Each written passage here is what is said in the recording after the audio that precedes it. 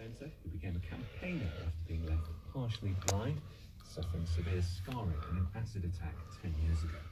In the city, the 100 share index is down 40 points at 77.